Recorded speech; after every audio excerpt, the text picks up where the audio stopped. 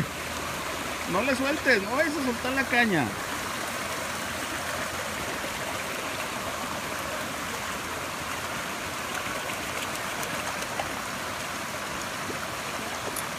Listo, ya no le des, hijo. Ya, listo.